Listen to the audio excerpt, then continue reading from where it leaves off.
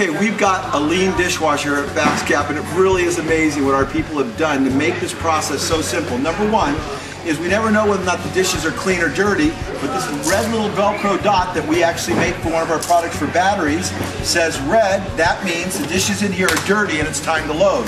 The minute you press the buttons to make the dishwasher go, you always turn over to green. That signals to people that's a clean load in there. Don't put dirty dishwashers. Very simple, very clear to understand. The next step is people need to know what to press. Well, the standard for pressing is high temp wash and normal. So you press button one and two.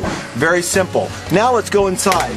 We had one of our employees come up with the idea of actually putting what the different forks, spoons, and knives on the rack so you load them correctly. So when it comes time to unload them, you just grab the handful of dishes. You do not have to sort. It removes a lot of the over processing. But then the best improvement of all came today from Graham. When he was pulling out the dishes, he's noticing that the forks and the spoons catch on the bottom of the rack. So what did he do? He went in here and flattened them so they can't catch. How innovative, how simple. That's lean thinking, just using your head instead of your wallet, solving problems every day.